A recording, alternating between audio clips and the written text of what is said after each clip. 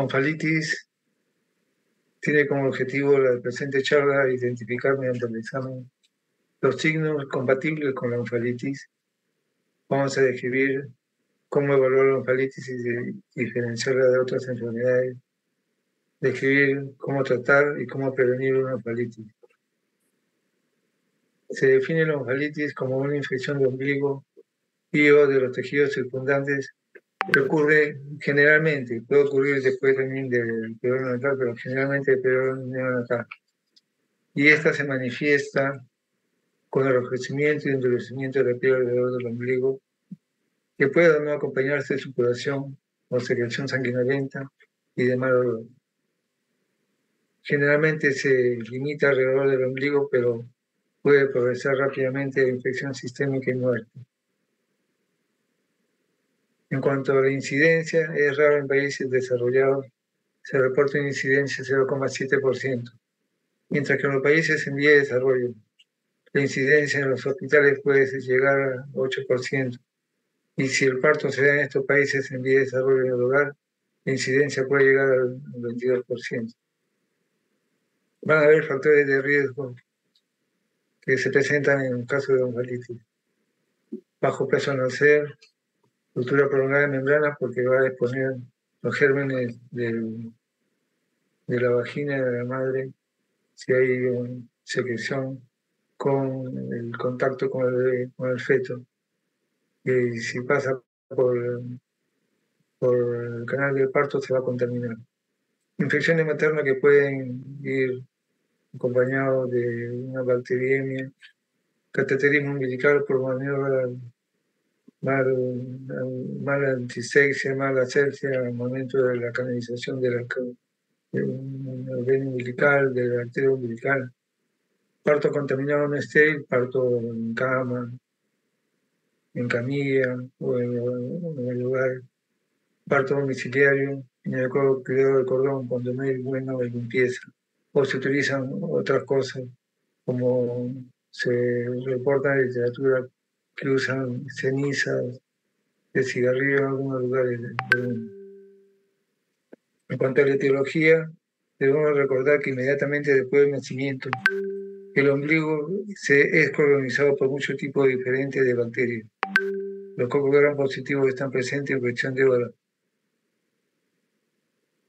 Los tejidos desvitalizados de la unión umbilical provocan el rápido crecimiento de esta bacteria y los vasos sanguíneos trombosados permiten la entrada de torrentes sanguíneos, lo que podría conducir a una infección sistémica. Dentro de los aerobios más frecuentes está el estafilococo aureus, el estafilococo epidermidis, el estreptococo grupo A, Escherichia coli, el Proteus, y más de un tercio de casos son los aerobios como Bacteroides fragilis, Ectoresococcus, Clostridium perfringens y los en sí el corta el cordón con un objeto no esté limpio para provocar el tétano neonatal por, por esa vía. El cuadro clínico, a través de signos locales, se va a presenciar eritema periumbilical, eritema, edema y edema, hipersensibilidad con o sin secreción fétil. Aquí podemos ver la categoría que solo con descarga purulenta o con celulitis y linfogitis de pared abdominal o extensión de inflamación a tejido celular subcutáneo en fase profunda, colocando una fascitis necrotizante en muchos casos que complica una oncolitis. El cuadro clínico también puede ser manifestación con manifestaciones sistémicas como fiebre, hipotermia, icteritis, taquicardia, retraso urinado capilar, que es lo que ya nos llamaría la atención, el estado hemodinámico, del deterioro hemodinámico del neonato, taquipnia, apnea, distensión abdominal, ausencia de peristaltismo, o sea, hilio séptico, irritabilidad, letargia, mala succión, hipotonía y hipotonía puede manifestarse también como una folitis catarral, que es la forma más benigna y cursa como un exudado sedoso o sanguinolento que suele presentarse a los 8 días de vida, sin reacción inflamatoria en la base, solamente con es seroso o sanguinolento. Otra forma de presentación es el famoso granuloma umbilical. Al caer el cordón deja una pequeña tumulación de color rojo vivo situada entre los pliegues del ombligo, con un exudado seroso sanguinolento. Aquí el tratamiento es con pirocina o con lápiz de nitrato de plata. Otra forma de presentación es una felitis supurada, que es un grado, un grado más intenso y cursa con secreción purulenta e infiltración de la pared abdominal próxima a la cicatriz umbilical.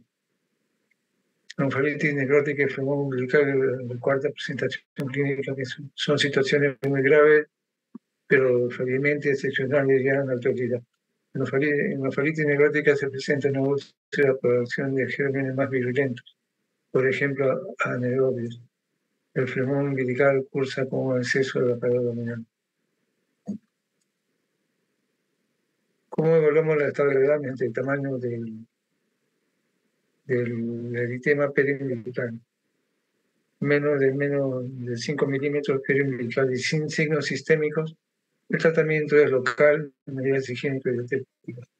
Si es menos de 5 milímetros periumbilical, pero con signos sistémicos, el tratamiento es intravenoso y envío a valorar por el especialista. En este caso, el pediatra, todo el mayor de 5 milímetros, de perio umbilical, tratamiento con sin signos sistémicos, tratamiento de intravenoso, desde derivado urgente de hospitalización. ¿Qué examen de laboratorio vamos a utilizar o qué examen vamos a solicitar? Un hemograma completo, reactante de fase aguda como el PCR, cultivo de secreción umbilical para saber qué germen se trata, cultivo, examen de orina y cultivo de orina también, examen y cultivo de líquidos cefalorraquídeos si hay manifestaciones sistémicas para descarte meningitis. ¿Cómo se previene? Primero lavándolo la mano antes de manipular al recién nacido. Favorece también, dice la literatura, que el contacto piel a piel entre la madre y el recién nacido, ya que hará con flora normal el cordón umbilical. La aplicación de clorexidina al 4% en cordón umbilical o alcohol al 70% o grado, en caso de no tener acceso a estos productos, el secado natural, mantenerlo seco. El lavado de manos, que es muy importante, los 11 pasos. El tratamiento el diagnóstico de encefalitis sin la complicación el tratamiento local como ungüento de neón y sin Cuando hay una encefalitis complicada, se recomienda tratamiento endovenoso. Se utiliza como si fuera una sepsis neonatal, aminoglucósido, clindamicina en el caso de que haya neobios, cefotaxima, metronidazol también para neobios, y mipenem para gérmenes de multiólogo resistente. Esta es una lista del arsenal de antibióticos que utilizamos tanto en crema como en luminoso. Por ejemplo, tenemos clorexidina en ungüento, neomicina, mupirocina también en ungüento, amicacina de 100 y de 500 en ampollas, gentamicina de 20, gentamicina de 80 también en ampollas, gentamicina en solución inyectable, metronidazol también en solución inyectable, imipenem y cefotaxima. De acuerdo al, tiempo de vida, de acuerdo al peso, de acuerdo a la edad gestacional, se le va a proporcionar por un tiempo con cada 8 horas, cada 12 horas y por 7 10 días el tratamiento si es vemos. ¿Qué complicaciones puede traernos una onfalitis? Puede causarnos septicemia, una sepsis generalizada manifestándose con distermia y extinción abdominal. Otra complicación es la fascitis necrosante.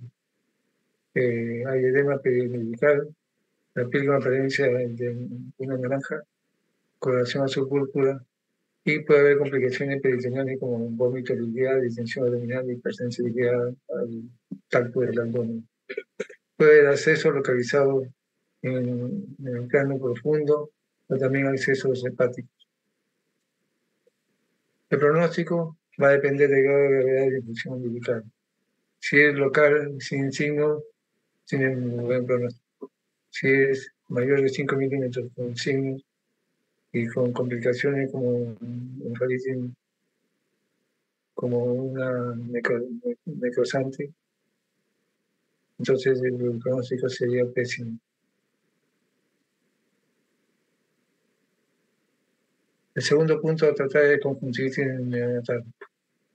Los objetivos es conocer los, qué factores predisponen a recién nacido para desarrollar conjuntivitis.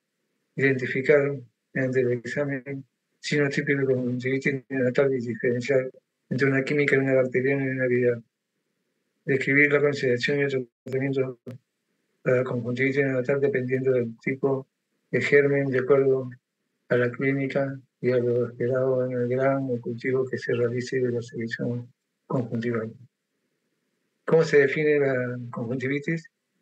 Como la inflamación e infección de la conjuntiva inferior neonatal. Tiene como sinónimo también ostamía neonatal. Esta, esta gráfica es para poder describir dónde se ubica la conjuntiva. Es una una mucosa translúcida que se divide respecto a su ubicación en una conjuntiva palpebral, que es la que cubre internamente el párpado, una conjuntiva vulvar y el, fondo que divide el vulvar, el palpebral del pómenes. Puede haber inflamación manifestándose con vasodilatación, quemosis, secreción. El neonatos es más severo, ¿por qué? Porque tienen todavía inmadura la inmunidad. Hay ausencia de tejido linfoide en la conjuntiva, hay ausencia de lágrimas al nacer, ausencia de isocima, por ejemplo. En cuanto a su incidencia, incidencia en el mundo es de 1 a 2%. La conjuntivitis neonatal infecciosa con la introducción de la solución de nitrato de plata en el siglo XIX, ha disminuido la presencia de clamidia gonocócica. La clamidia actualmente es el germen que más comúnmente se reporta como causa de también en los Estados Unidos, donde puede llegar en algunos estados de 2% hasta llegando a algunos estados de 40%. La incidencia también de neonatal se ha reducido drásticamente y causa menos del 1% de los casos de conjuntivitis neonatal. Entonces, la más frecuente es la conjuntivitis neonatal por clamidia. ¿Qué factores de riesgo se presentan? Hay factores predisponentes como disminución de la producción de lágrimas, la falta de inmunoglobulinas en lágrimas, disminución de la función inmunológica, ausencia de tejido linfóide en la conjuntiva, disminución de la actividad de los lisocimas. Ahora, inherentes del parto del recién nacido, ruptura prolongada de membranas, finalmente provoca infección, en este caso a nivel ocular, el parto prolongado también provoca infección ocular, la prematuridad, por estos factores predisponentes están presentes, el control prenatal deficiente, enfermedad de transmisión sexual materna, la ventilación mecánica, porque muchas veces lo sedamos a los bebés y los ojitos lo tienen tapado para evitar daño del ojo, condiciones higiénicas deficientes, o sea, no limpieza, no baño, madre infectada por VIH. ¿Cómo se clasifica? ¿Cómo, de acuerdo a la etiología? Eh, puede ser una conjuntivitis de tipo aséptica que es provocada generalmente por el nitrato de plata. La aséptica se va a dividir en bacteriana, por clamidia, por gonorrea y por herpes simple. Dentro de la bacteriana, llamada también conjuntivitis banal, pues es provocada por Escherichia coli, Klebsiella, Staphylococcus aureus y otros enterobancos. La conjuntivitis bacteriana banal aparece eh, antes de las 48 horas, pero tiene un periodo de incubación de 5 a 14 días por parto. Dentro de los gérmenes gran positivo, que son el 30-50%, está el Staphylococcus aureus, Staphylococcus pneumoniae, Staphylococcus viridis y Staphylococcus epidermidis. Dentro de los grados negativos, la Escherichia coli, la Coxiella pneumonia, Serratia marcense, Proteus enterobacter y Pseudomonas.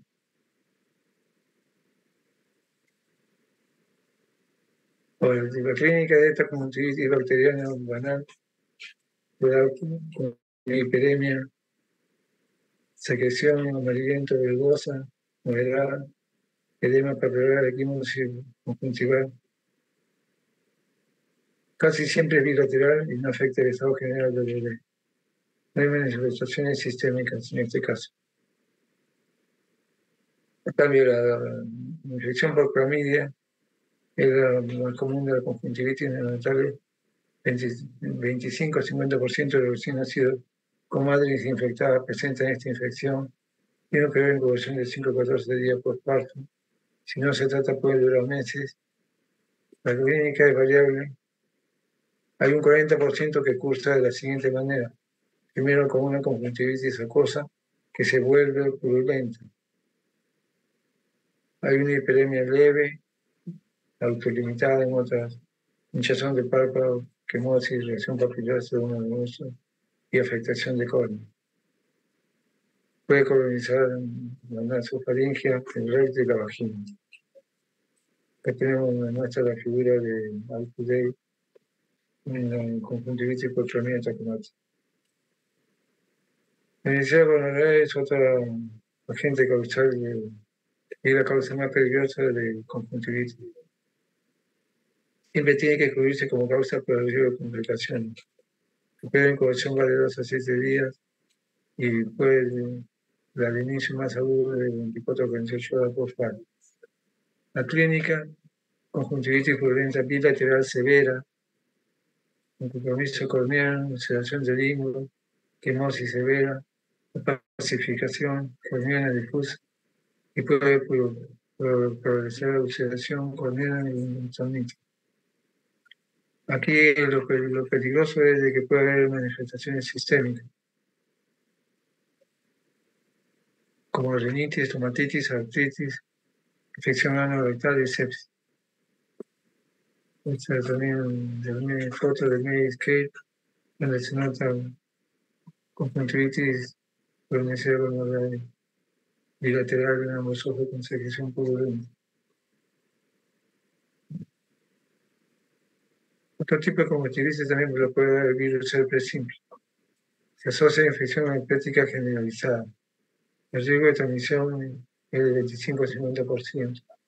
Tiene un periodo de incubación de 6 a 14 días y de inicio en, menos de dos semanas por parto.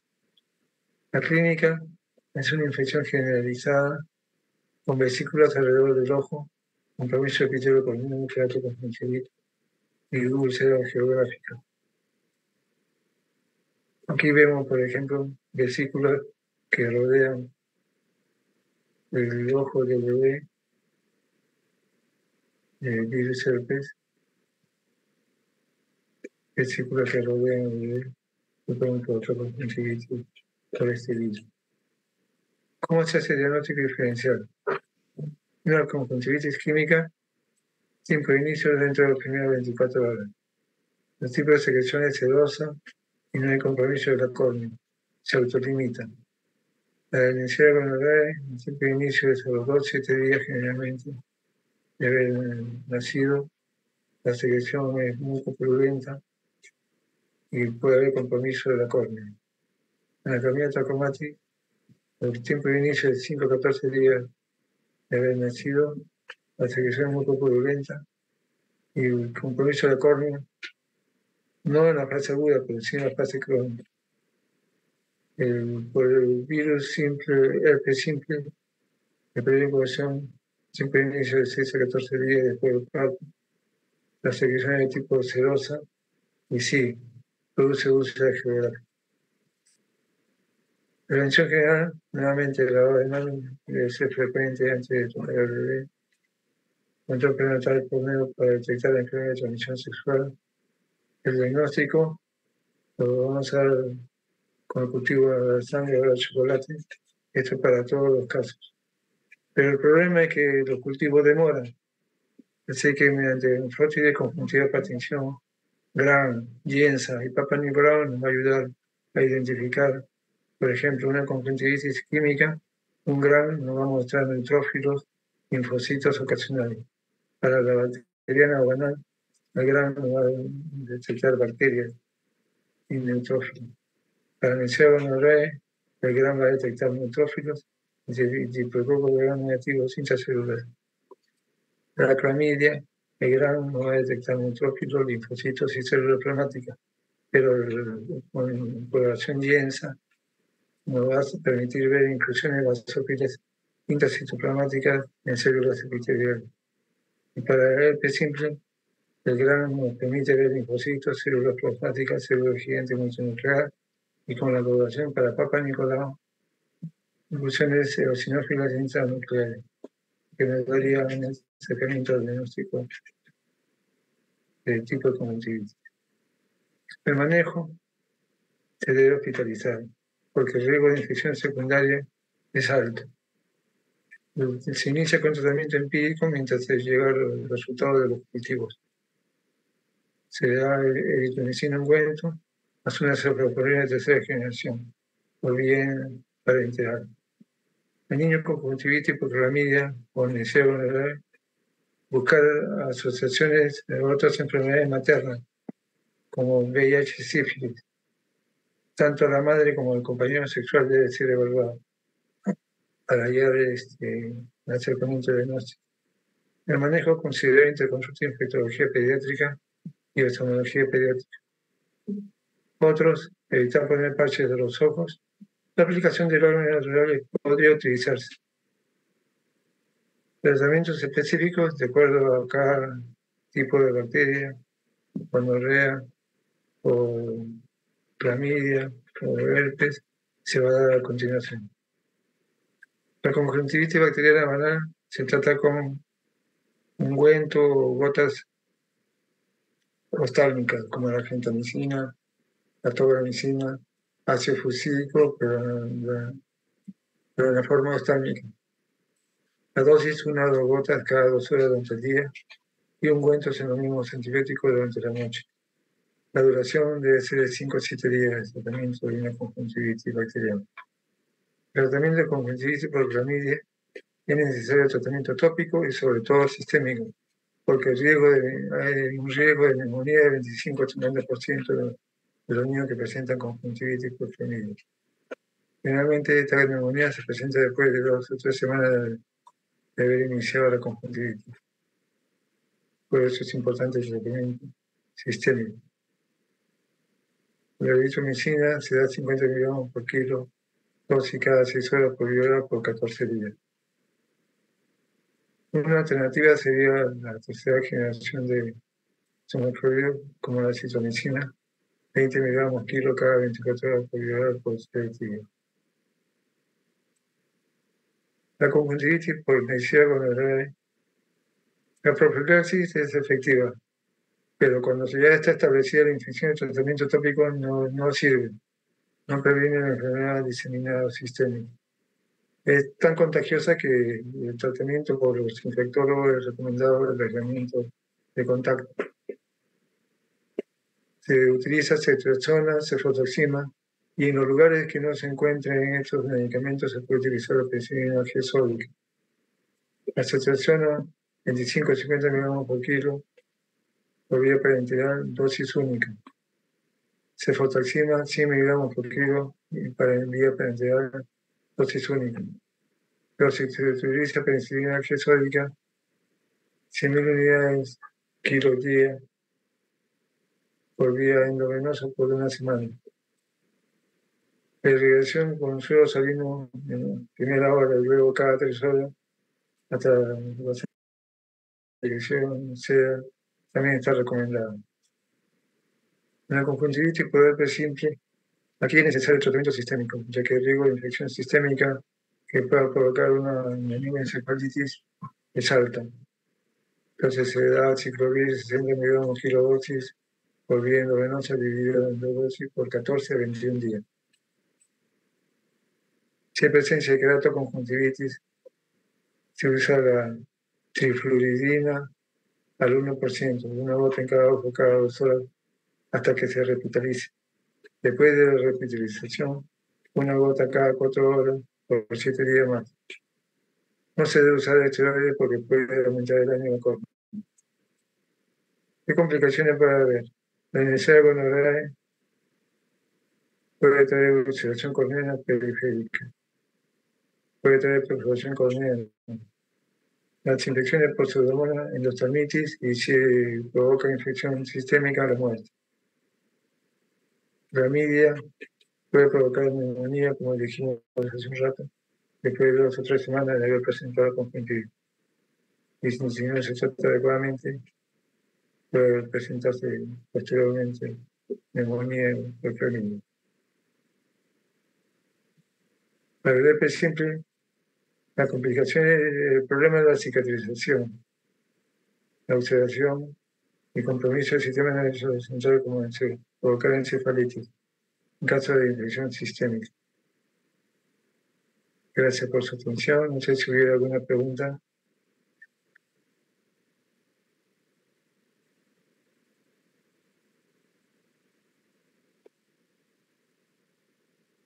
Doctor, sí, disculpe. Entonces, por clamidia, gonorrea y herpes va a ser sistémico, ¿cierto? Sí, así es. Así es, doctora. Gracias, doctor.